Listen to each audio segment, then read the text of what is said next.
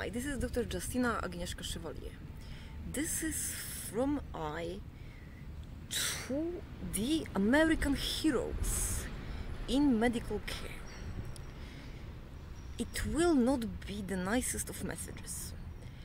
I have met group now of persons who actually do wish to have face to face follow up.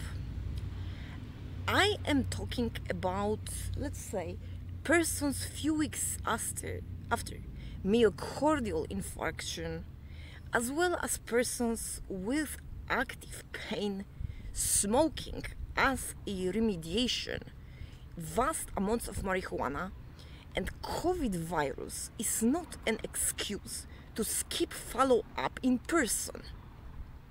Otherwise, do not be, ladies and gentlemen, excessively grateful because that is not an excuse for an active licensed physician to skip attending patients in fear of a disease.